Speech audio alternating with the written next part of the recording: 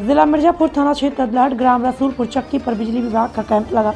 जिला मिर्जापुर ग्राम रसूलपुर, चक्की पर बिजली विभाग का टेंट लगाते हुए अधिकारी ने बताया कि बिजली विभाग में भारी छूट है, जिसकी वजह से हम लोग गाड़ी से प्रचार करवा रहे हैं और जनता का अपना संदेश भिजवा रहे हैं। लोगों से हमारा अपील है कि इस वक्त बिजली में भारी छूट दिया जा रहा है। विद्युत कर्मचारियों को बताया गया कि 15 अप्रैल तक छोड़ दिया जा रहा है और आप लोग अपना बिजली भुगतान कर दें।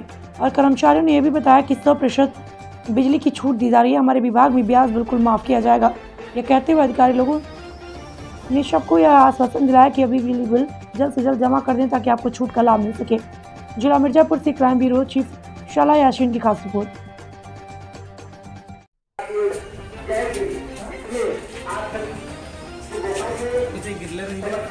क्या सर ये बताइए, ये विद्युत विभाग में जो छूट दी गई है ये कै परसेंट है। सौ परसेंट ब्याज माफ़ी है। ये पंद्रह अप्रैल दो हज़ार इक्कीस तक चलेगा। मध्य रात्रि मतलब पूरा आपका आठ बजे या नौ बजे तक जमा होगा ये पैसा। ये राज्य सरकार का योजना है या केंद्र सरकार का? ये सरकार का योजना है राज्य सरकार।